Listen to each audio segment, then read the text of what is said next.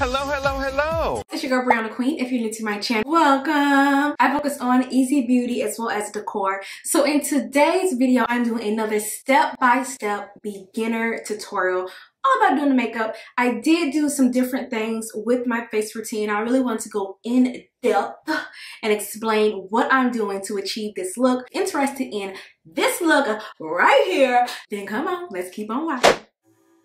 Starting off with primer. Primer just helps to increase the longevity of your makeup as well as give your foundation a nice smooth canvas to work with. This foundation also includes sunscreen which is why I'm rubbing it all over my face. And you definitely do not want to forget that neck. That neck needs sunscreen too sis. Lather, lather the neck. Now I'm being super extra, but I'm going to go ahead and apply a, another primer just on my nose and underneath my eyes. Really my T-zone, which tends to get super oily. So I did apply a primer that was like a sunscreen and then I'm going to apply one more primer, a very thin layer, just to my nose and underneath my eyes. Now it's time for the foundation. Now it's time for the foundation, I'm going in with a beauty blender, which I did mix with a little bit of water. I prefer for my beauty blender to be a little damp. I find it's easier to blend my foundation. Taking some foundation and that beauty blender and just going ahead and dabbing it on my face. And you guys already know, everything I use, all products will be listed down below in the description bar for you because I'm, I'm nice like that, okay? And when you are applying your foundation, make sure you are blending that into your jawline. You do not want a differential line. I always tell you guys that because I be wanting to look out for you, but you definitely do not want to have a differential line. So make sure you blend it into your jawline and into your hairline. All right, and let's check mark off foundation because the foundation is done. Oh, beautiful. So next up is the eyebrows. You guys know eyebrows frame the face. They're so important. I can't do anything without my eyebrows done. So first off, just taking a spoolie, brushing that off, and then going in and filling my brows in with a brow pomade.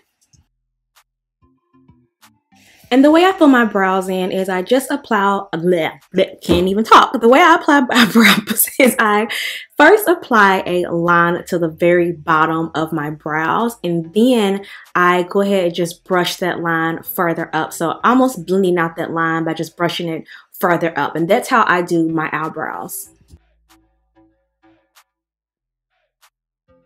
And once my brows look good and crazy, I go in with the spoolie and I just brush that brow pomade out so it does not look super harsh.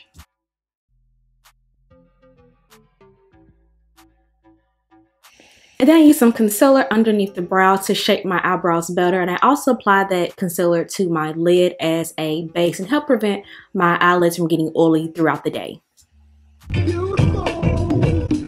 So now I'm going in with my palette and I have the palette down below. I cannot think of the name, y'all. And I'm taking that brown, I'm just to apply that to my crease and a little bit above my crease. This is going to help the other colors to transition better. And I'm packing this color on with a fluffy blending brush. And don't worry if it looks crazy at this current time or at this point in time. Don't worry if it looks crazy, y'all. It's supposed to look crazy at this point just ensure that you're packing that color on so you do have that color. We will clean it up later. I promise. Taking a nice fluffy brush and this product will also be listed down below and I'm taking this clean brush and I'm just going to blend out that harsh line so it does not look as harsh. So when applying eyeshadows, especially as a beginner, you can have a brush that you use to pack on the eyeshadow colors and then have a, another brush that you use to actually blend out that color. So it's just going to make it a lot easier. It will also prevent your eyeshadows from looking super muddy.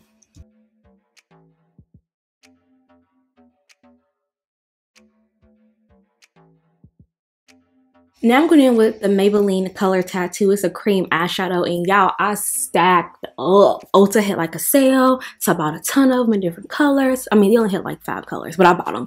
And I'm taking this eyeshadow and I'm taking a flat eyeshadow brush and I like to do, this how I do my eyes, okay y'all? I like to apply a little bit to the center of my eye and then work my way left and then work my way right. It helps for the eyeshadow, the placement. So if you find when you apply your eyeshadows, maybe you apply the eyeshadow too low or too high, start at the center of your lid and then work your way around and that will help with the placement of your eyeshadow colors.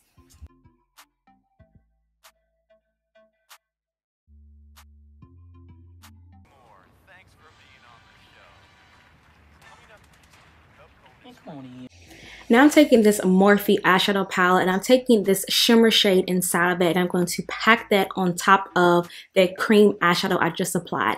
If you find when you apply when you apply eyeshadows they're not super bright. They look maybe dull. I highly recommend applying a base and then applying that eyeshadow on top of it. This eyeshadow is pretty dull, but by having that base on it and then applying that eyeshadow on top, it's super bright and it looks very, very pigmented. So that's something I do recommend that you do if you find your eyeshadows are not very bright on your face. Now taking that brown eyeshadow and I'm just going to kind of carve out my crease a little better. And literally all I'm doing is just taking that brown and just carving out my crease so that that eyeshadow looks a little more cleaner on my lid. Yes.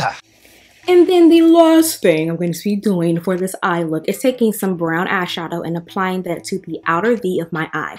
So I am lightly, y'all see lightly, packing that on the end of my eye, the outer V, and I'm packing that on. It's just going to make this eyeshadow look, look a little smokier. And remember you guys, you can always apply more, but you can apply less. So apply very little at a time and then just keep going and applying a little more. Build it, build the color. Highly recommend 1010, build the color. And then taking that clean eyeshadow brush I used at the very beginning to blend out the lines, going back in with that brush and blending out the lines again. So literally apply the color with a brush, blend out. Apply another color, blend out. That's what we do. Okay, Brie, get it, girl, get it. Next up is the eyeliner. Next up is the eyeliner. Okay, so we are doing a cream eyeliner this time. You guys know I usually do the liquid. We're gonna do something a little different, taking an angled brush and my cream eyeliner, and I'm going to apply a line to my eye. And I know you're probably wondering, Breonna, what's taking so long to apply this eyeliner? Why are you applying it so thin? So here's a trick not really a trick. If you're not used to applying cream eyeliner, which it's been a minute since I've applied it, you want to go in with a very thin line and then you can make it thicker. But you do not want to try to do a super thick line and then you mess it up and now you done messed up your eyeshadow look. Girl, just girl, don't even do it. So when you are applying eyeliner, especially if you are a newbie, apply a very thin layer because you can always apply more, but you can't apply less.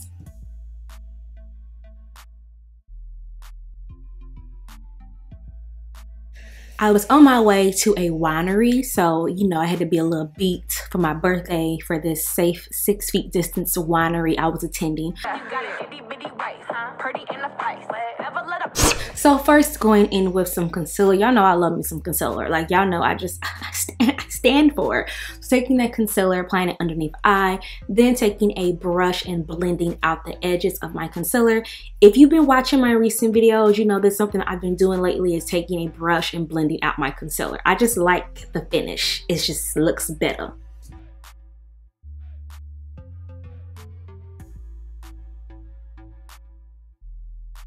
And then I'll go in with a damp beauty blender, the same one I use my foundation with because you guys know anybody got time using all these different beauty blenders. But taking that beauty blender, just blending out any spots that I missed.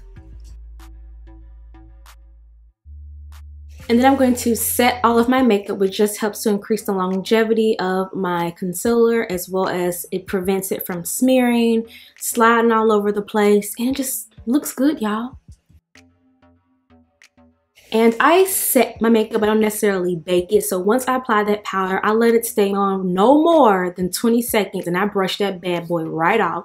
Taking a brush and just lightly brushing off that powder. And as you can see, my face no longer looks as greasy and oily as it did before. And I just really have that bright under eye look. So one thing I have been doing, like this is like my new thing. I'm getting older, you guys know that. I know that as well. My doctor knows that. I've been applying beige or cream eyeliner to the bottom of my lid as opposed to black. It just makes my eyes look more awake. It makes my eyes look wider. I found that the black eyeliner underneath my eye, it's aging me now that I'm aging a little bit. So applying a cream eyeliner to my bottom lash line, it just make y'all, it just makes the look look so good.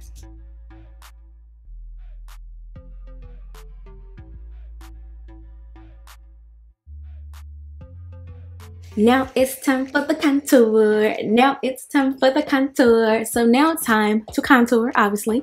I'm taking a Fenty stick and applying that to the center, my center, perimeter of my face. So cheekbones, forehead, as well as to my jaw. And I'm going to blend that out using a angled brush.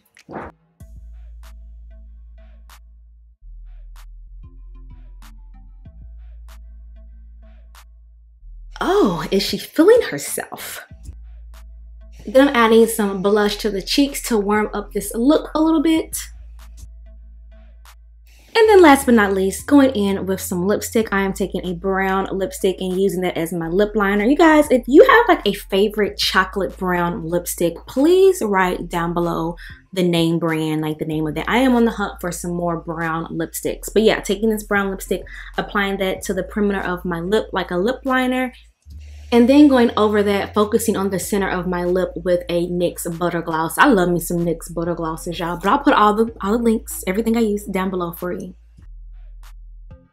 And then of course, finishing up with a spraying powder, setting spray to help keep the makeup lasting longer, get rid of any powdery looks, and just, you know, because we done. We gotta set this makeup because we done.